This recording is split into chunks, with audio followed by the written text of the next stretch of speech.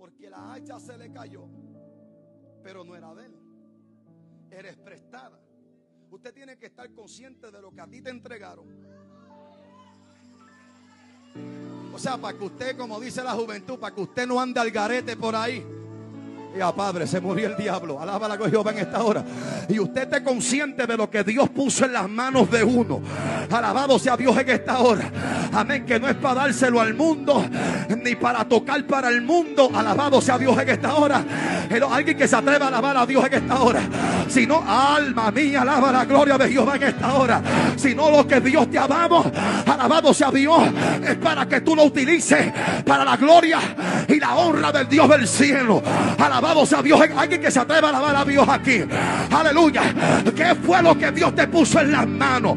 Aleluya. Ah, el ruido se estaba escuchando, pero ahora no. Ahora lo que hay es un silencio.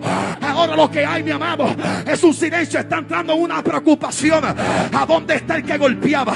¿A dónde está el que predicaba? ¿A dónde está el que cantaba? ¿A dónde está el que adoraba? ¿A dónde está el músico? ¿A dónde está el líder? Ay, yo siento algo de Dios aquí. Alguien que se atreva a alabar a Dios. Pero hay un silencio. Tú sabes lo que pasa, hermano.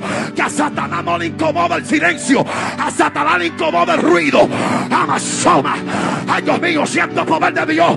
A él no le incomoda el silencio. A Satanás le incomoda el ruido. Alguien tiene que hacer ruido. Alguien tiene que. Ah, alguien que alabe la gloria de Jehová en esta hora. Levante esa mano arriba y